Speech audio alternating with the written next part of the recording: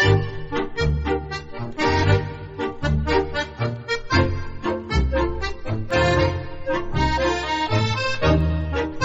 going to watch Troy while my family is going shopping for Mother's Day.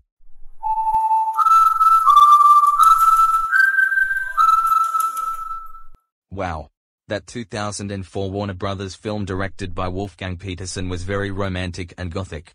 It has a great ensemble cast consisting of Brad Pitt, Eric Bana, Orlando Bloom, Diane Kruger, Sean Bean, and Brian Cox.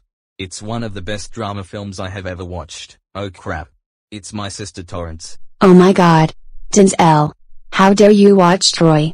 You know that this movie is rated R for graphic violence and some sexuality. And plus, you have to be 18 years old to watch it. You are only 14, so, you are way too young to watch this movie. But Torrance. This was one of the greatest Brad Pitt films I have ever watched in my life. It was so good, and I loved it. Well, no, that's too bad for you. It's very inappropriate for your age. You should be really ashamed of yourself, young man. That's it. You're grounded for five days.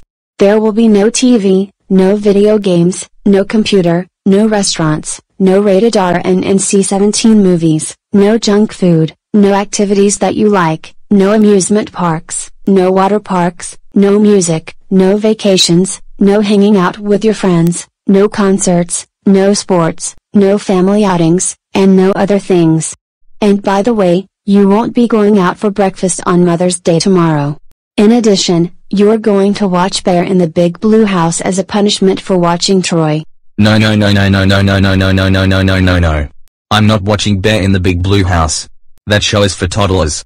I'm so sorry for watching Troy. I don't care. You're going to watch Bear in the Big Blue House, because you watched Troy. Now start watching this show right now, or you will be grounded even longer. I'm also telling your family about what you just did today.